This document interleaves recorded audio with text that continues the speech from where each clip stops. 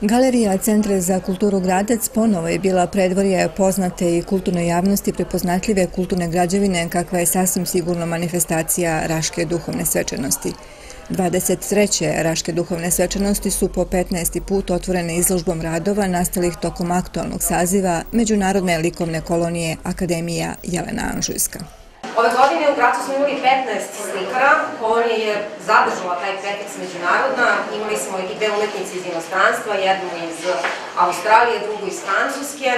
I ostali umetnici bili su iz naše zemlje, među njima bilo je i slikara, i grafičara, dizajnera, um, i različitih drugih umetnika. I otuda možda um, i raznolikost motiva i svega ovoga što možete ovde da vidite u Galeriji Centra za kulturu Gradac večeras. E, samim tim i likovna kolonija nije nekako tematski profilisana i definisana, pa ovde da i razne motivi i tehnike likovnog izražavanja, slikarske e, poetike takođe su potpuno različite.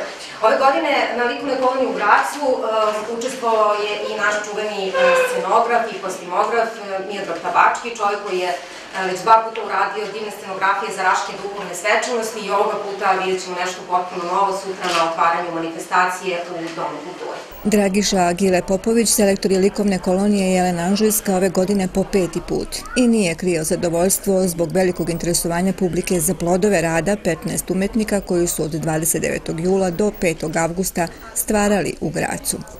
Lepo je što ste došli ovako u velikom broju, većem nego što je bilo na otvaranju izložbe Nebojše Stojkovića i Joška Šiljana, ali ovaj, drago mi je da ste tu i vidim da ima puno mladih i što je stvarno ovaj, ohrabrujuće. Ovaj, inače sam već onako počeo mi opada ovaj, entuzijazam kad sam vidio prošli put, jednostavno dolaze isti ljudi, čak nema ni oni koji, koji su uobičajeni bili tu. Uh, moram da kažem da smo imali stvarno potpuno pozitivnu energiju, kao što je Maja rekla, uh, autori su različitih senzibiliteta, koriste različite tehnike, e, međutim, zaista neverovatno je kako je sve to proizvalo jedno e, e, bilo je potpuno, bili su potpuno motivisani od prvog dana, kako za rad, tako da za druženje i za stvaranje. Mislim, bukvalno kad smo ušli u školu gore u Gracu, to je, ove, svi su nagrnuli onako da rade i zaista neverovatno koliko su za tih nekoliko dana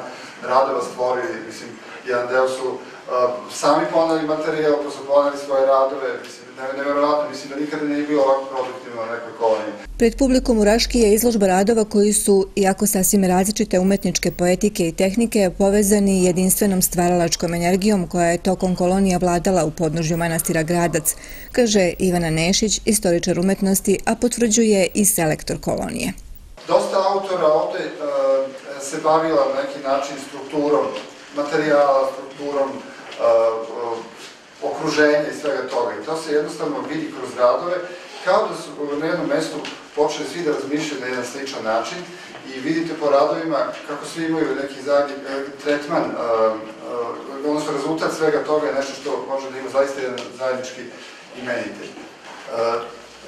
Vrlo je interesantno kako su neke spoljne manifestacije uticale na autora, recimo Dijana Brennan, koja se bavi tekstilom, inače predavala je na Francuskoj akademiji u Parizu, ona je bila fascinirana time što je videla stogove sena. U Francuskoj toga nema već, pa ne znam sigurno, znači ona je 73. godine, inače australijanka, ona stog sena nije videla u Francuskoj, jednostavno videla samo na Moneovom slikama.